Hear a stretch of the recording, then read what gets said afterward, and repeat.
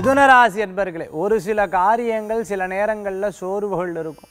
அப்புறம் பார்த்துப்போம் அப்புறம் பார்த்துப்போம் அப்புறம் பார்த்துப்போங்கிற எண்ணங்கள் மனசில் இருக்குது யாராவது நம்பி பணம் கொடுத்து விட்டோம் யாராவது நம்பி ஒரு பொருள் கொடுத்துட்டோம் அது வீட்லேயும் சொல்லலை. அல்லது யாராவது ஏமாந்துட்டோம் ஏமாத்திட்டா அப்படின்னு சொன்னால் அதை பற்றியே சிந்திச்சுட்டு இருப்பேன் ஏதாவது விரயமாயிடுத்துன்னா அதை பற்றி யோசிச்சுட்டு இருப்பேன் யோசித்து காரியம் கிடையாது. அடுத்தது என்ன அடுத்தது என்ன அடுத்தது என்னங்கிற எண்ணங்கள் சிந்திச்சல்னா நிச்சயம் வெற்றி பெறக்கூடிய அளவுக்கு இன்றைக்கி மத்தியானம் மூணு முப்பத்தி அஞ்சுலேருந்து அஞ்சு நாற்பத்தி எட்டுக்குள்ளே யாருக்கேனும் பணம் கொடுக்கணும் யாருக்கேனும் உதவிகள் கேட்டால் அப்படின்னா பார்த்த அவளுக்கு உதவி செய்கிறது நல்லது. ஏன்னா உங்களுக்கு இப்போதைக்கு இருக்கக்கூடிய சுச்சுவேஷனில் டக்குன்னு அவளுக்கு எடுத்து பண்ணிவிட்டேல் அப்படின்னு சொன்னால் அப்புறம் அது அவள் நினச்ச கூட பார்க்கறதுக்குண்டான சூழ்நிலைகள் கிடையாது. அதனால் அதை பார்த்து பண்ணிக்கிறது நல்லது. அதே மாதிரி உத்தியோக ரீதியாகவும் தொழில் ரீதியாகவும் உங்களுக்கு மறைமுகமான விஷயங்கள் நான் சொன்ன நேரத்தில் இருந்ததுன்னா அதை காது கொடுத்து கூட கேட்காதீங்க.